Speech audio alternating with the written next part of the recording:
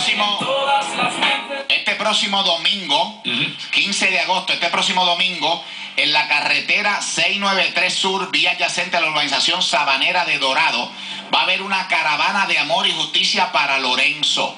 A las 4 de la tarde, señores. La caravana va a recorrer algunas vías principales de Dorado y la misma va a culminar en la plaza pública de Dorado, donde vamos a tener una actividad de cierre. ¿Ok? Vuelvo y repito, caravana de amor y justicia para Lorenzo. Este domingo a las 4 de la tarde, la carretera 693 Sur, vía adyacente a la urbanización Sabanera de Dorado y de ahí a la plaza este, de recreo de Dorado. Mira para allá. Justicia para Lorenzo. Sí, señor. Señoras y señores, pueblo de Puerto Rico, Frankie J. Frankie J fue hoy donde la fiscal Wanda Casiano.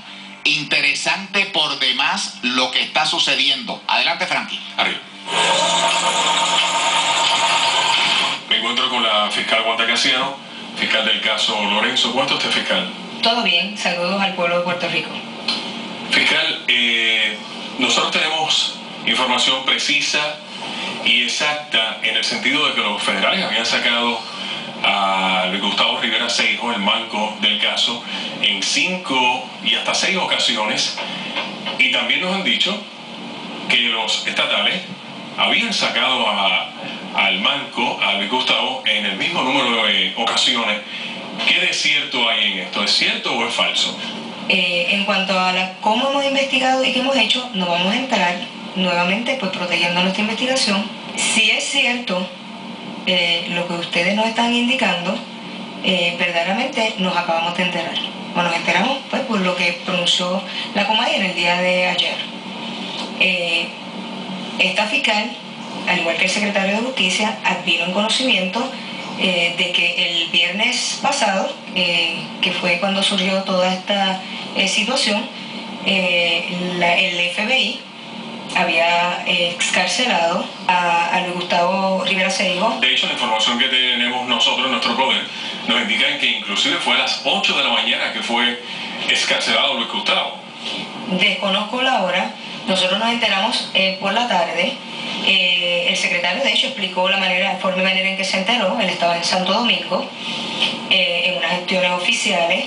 eh, cuando el, el superintendente de la policía le llama y le indica que hay una reunión de un caso importante, él entiende que es otro asunto, y envía al fiscal Obdulio Meléndez a esa reunión de la cual desconocíamos es en ese momento cuando el fiscal Meléndez llega a esa reunión que se entera eh, que habían excarcelado a Luis Gustavo Rivera Seijo, que habían, lo habían llevado a donde alegan que lo llevaron. Anterior a esto no había habido una reunión eh, del fiscal con eh, los federales. No, en esa reunión es que él se entera que lo habían excarcelado ya y que estaban eh, alegadamente en la residencia de la señora Castro y los vecinos.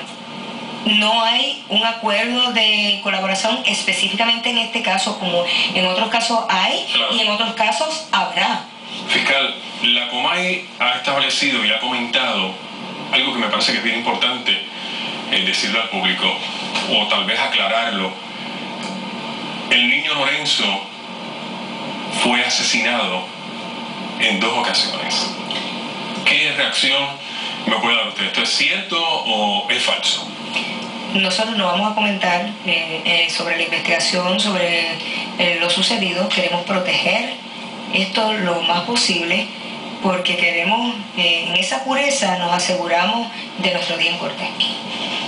¿Qué vino primero, el golpe o las heridas punzantes, fiscal? No vamos a comentar sobre eso. ¿Es contundente la prueba de medicina forense? Es una prueba científica eh, contundente. ¿Y por qué los federales no la toman en consideración antes de hacer tal vez este operativo? No vamos a comentar en cuanto a ello. eh, ya nosotros dimos, pasamos la página. Fiscal, sin entrar en detalles, ¿quiénes mataron a Lorenzo? No vamos a comentar sobre ello. En su día, eh, El agente especial contratado por la familia Cacho, Milton Rodríguez, eh, va a publicar un libro. ¿Cuál es su reacción al respecto? Mm, No quisiéramos comentar al respecto. Eh, por un lado nos preocupa el hecho de que hay una investigación corriendo. Mil- Eh, Rodríguez, fiscal, tengo que aprovechar que estamos aquí, eh, dice, su teoría es que quien asesinó o quienes asesinan a Lorenzo no eran, una- no eran personas o personas ajenas a él, todo lo contrario, la persona que asesinó o quienes asesinaron a Lorenzo, él los conocía y estaban allí esa noche en ese lugar. No hay que buscar afuera, hay que buscar adentro. ¿Qué le parece esa opinión de Milton Rodríguez? muy interesante y podría estar consona con la nuestra. Fiscal, las niñas han hablado. El rumor que tenemos, la información que tenemos, es que las niñas han revelado, saben lo que sucedió esa noche y que han identificado al asesino o los asesinos de Lorenzo, el hermano de ellas. ¿Cierto o falso? En cuanto a las niñas, no vamos a comentar nada. Estos son unas menores eh, que necesitan ser protegidas y esa es nuestra función, protegerlas. Eh, además de esclarecer el caso, nuestra función es proteger a esas menores. Van a declarar en circuito cerrado. No vamos a comentar sobre eso. William Marrero fue nuevamente reinstalado en sus labores. ¿Qué opinión le vale? Eh, tengo esa información eh, y entiendo que es eh, una cuestión puramente laboral. ¿Hubo comunicación con los jefes de William Marrero?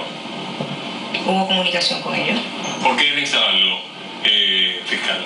Porque al día de hoy esta persona prestó bajo juramento una declaración y en el día de hoy esta persona se constituiría en un testigo. Pero esa clasificación, por llamarlo así, podría cambiar en algún momento. Al día de hoy esta persona es un testigo. Fiscal, la guagua de la Comay se va a llenar. Esa pregunta no te la puedo contestar. Señoras y señores, Wow. Interesantísimo. Fíjese, esto Sí, que ella dice sí. que, eh, que la, la- lo que está diciendo Milton Rodríguez consono Con ellos. con, con lo- con la investigación de ellos. De ellos. Señores, y dice que William Marrero volvió al trabajo Ah. porque es testigo y entiéndase, testigo del pueblo. supuesto que sí. Señores, yo lo que creo aquí es que lo que falta es afinar unos detallitos, unos detallitos con las nenas. Ajá. Como yo siempre he dicho, las niñas son la clave. Las niñas son las claves. Y es cuestión de afinar algo. Eso lo saben ellos. Pero señores, también me he enterado de que aparente y alegadamente lo que están haciendo los federales también es consono con lo de Milton Rodríguez, ¿ok? Así que señoras y señores, esto se pone color de hormiga brava.